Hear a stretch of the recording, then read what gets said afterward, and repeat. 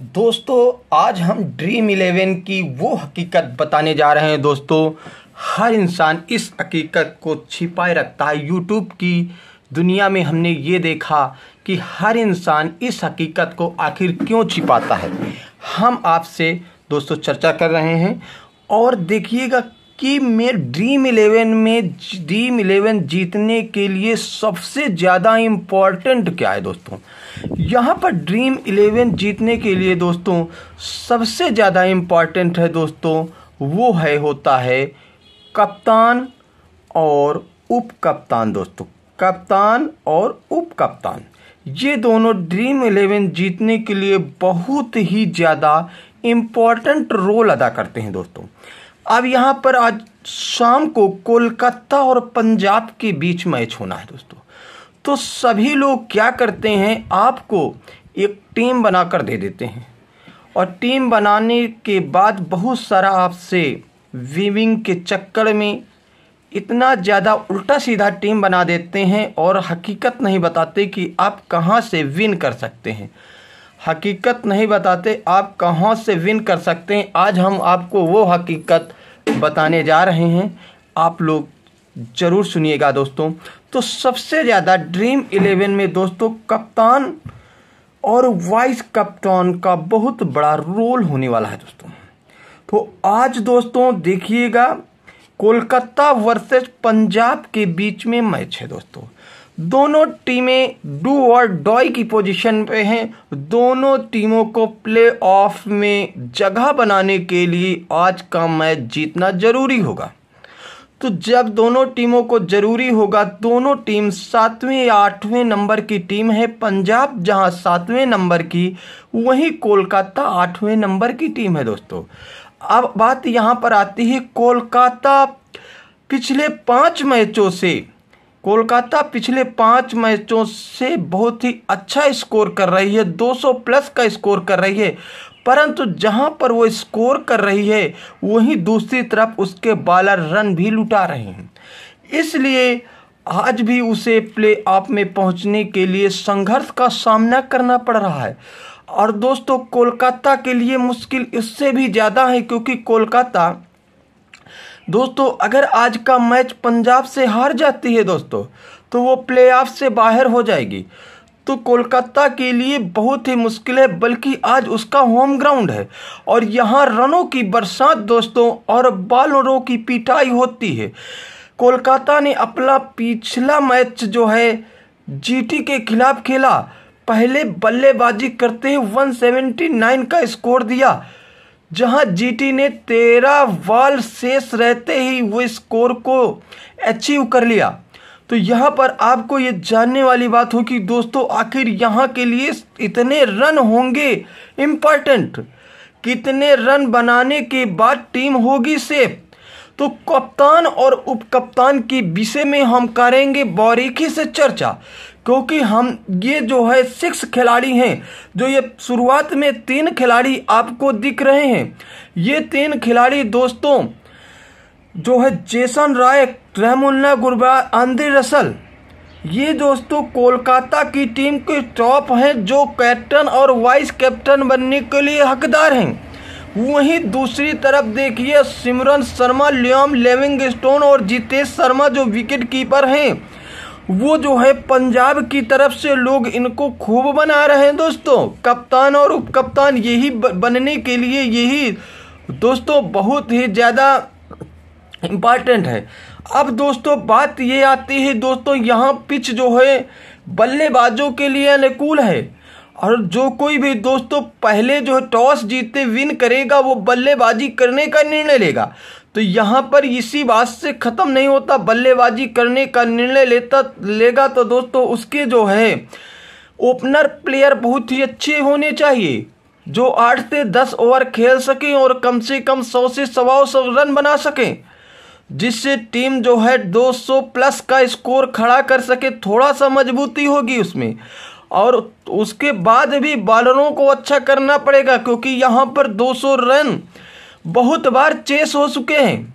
तो यहाँ पर आपको ड्रीम इलेवन बनाने से पहले आपको एक बात का ध्यान रखना बिल्कुल लाजमी होगा दोस्तों। वो कौन सी बात है दोस्तों? यहाँ पर कप्तान और उप कप्तान आप ही आप बहुत ही दिमाग से बनाइएगा। तो यहाँ पर आपको ड्रीम इलेवन बनाने से पहले ड्रीम इलेवन बनाने से पहले आपको कुछ बातों का ध्यान ज़रूर रखना होगा दोस्तों। कि आपको ये सिक्स खिलाड़ी वो हैं दोस्तों, जिन्हें लोग बनाएँगे कप्तान और उप कप्तान परंतु अगर आप इसी भेड़ चाल में शामिल हो गए तो आप ड्रीम इलेवन नहीं जीत सकते दोस्तों, क्योंकि आप पिछले कुछ रिकॉर्डों में देखा होगा कि जो है, पी साल्ट को जिसने कप्तान बनाया दोस्तों, वही जो है फ़र्स्ट सेकेंड थर्ड रैंक हासिल किया। पी साल्ट को केवल ज़्यादा ज़्यादा पॉइंट में लोग कप्तान बनाए थे। तो इस तरह दोस्तों, जो हाई परसेंटेज लेवल वाले खिलाड़ी अगर आप उनको कप्तान बना देते हैं तो वहाँ पर आपको इसलिए तो सभी लोग कप्तान बनाएँगे। Jason Roy Rahmanullah Gurbaz Andre, Russell Simran Sharma Liam, Livingstone और जितेश शर्मा। ये जो है, असली हकदार है कप्तान और उप कप्तान बनने के लिए। तो आप लोग क्या इनको बनाएँगे?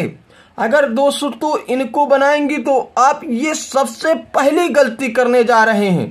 तो आप लोग कभी भी इन खिलाड़ियों को कप्तान और उप कप्तान ना बनाएँ।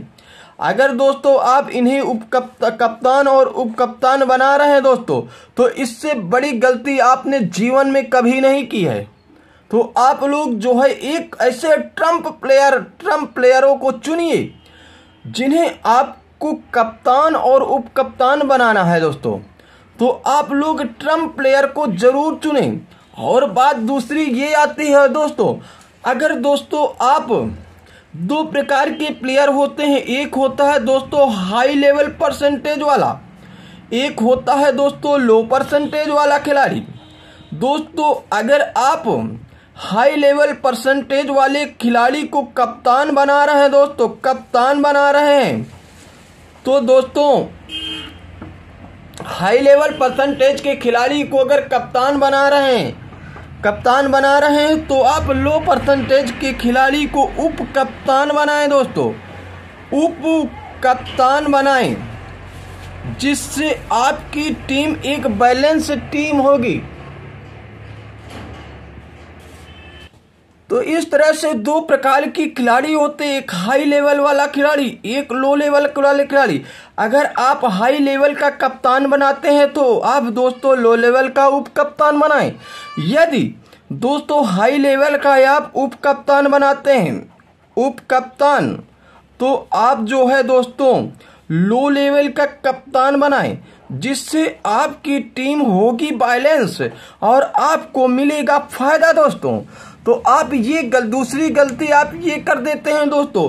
इन्हीं सिक्स में आप कैप्टन और वाइस कैप्टन चुन लेंगे। तो ये तो दोस्तों निन्यानवे परसेंट लोग कर रहे हैं। अगर वही गलती आपने किया तो हैशटैग नंबर वन रैंक कैसे आ सकती है? तो आप लोग जो आपको एक ट्रंप प्लेयर होते हैं दोस्तों हर जो है गेम में जो है जो पारी में दो तीन ट्रंप प्लेयर होते हैं आप उनमें जो है अपनी किस्मत आजमाइएगा। उन ट्रंप प्लेयर का नाम हम ज़रूर लेंगे दोस्तों। जैसे आप रिंकू सिंह हैं, रिंकू सिंह हैं, आंद्रे रसल हैं, रिंकू सिंह, नीतीश राणा हैं, इधर से दोस्तों मैट साठ हैं, शिखर वो सैम करन हैं, इनमें आप आजमाइएगा तो ये ट्रंप प्लेयर हैं दोस्तों, ट्रंप प्लेयर ट्रंप प्लेयर में आप आजमाइएगा और या तो दोस्तों जो नया प्लेयर लिया जाए, टीम में उसे आप दोस्तों बनाइएगा कैप्टन या वाइस कैप्टन क्योंकि आखिर वो नया प्लेयर लिया गया है तो क्यों लिया गया है दोस्तों? इस बात का बिल्कुल से आपको ध्यान देना है। तो कैप्टन और वाइस कैप्टन बनाने में दोस्तों अब दोबारा मत गलती करना। बहुत ही जो, दोस्तों जो नामी ग्रामी वाले प्लेयर हैं, उन्हें आप कप्तान और उपकप्तान ना बनाएँ। अगर आप उनको कप्तान व उपकप्तान बनाते हैं दोस्तों तो वहाँ पर आपको हैशटैग नंबर वन रैंक नहीं आ सकती। यहाँ पर आपको इसी बात का ध्यान देना है दोस्तों, कि कप्तान और उपकप्तान उन्हीं प्लेयरों को बनाना है। जो एक ट्रंप साबित हो सकते हैं, अचानक एक अच्छा प्रदर्शन कर सकते हैं, क्योंकि वो प्लेयर हर इंसान नहीं लिए होता है दोस्तों। तो उसे ही आपको लेना है और एक बेस्ट कैप्टन चुनना है दोस्तों। तो ये रही हमारी एक सीक्रेट जानकारी। दोस्तों, ये जानकारी आपको कैसी लगी?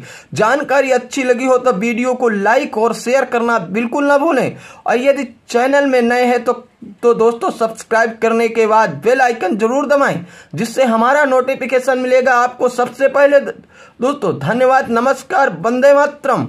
मिलते हैं किसी अन्य वीडियो में, तब तक के लिए बाय बाय दोस्तों।